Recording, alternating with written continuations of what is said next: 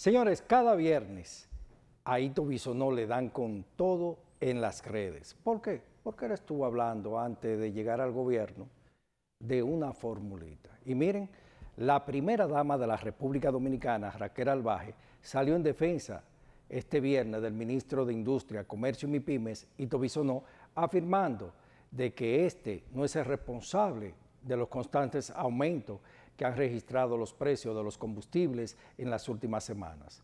Albaje sostuvo que esto no tiene nada que ver con dichos aumentos, sino que estos se deben a situaciones geopolíticas. Recuerde, primera dama, que Ito Bisonó acabó la gestión pasada con su fórmula farsa, que ahora el pueblo le pasa factura. Y qué bueno que sea así, para que los políticos aprendan a plantear su propuesta en base a la verdad, no en base a politiquería.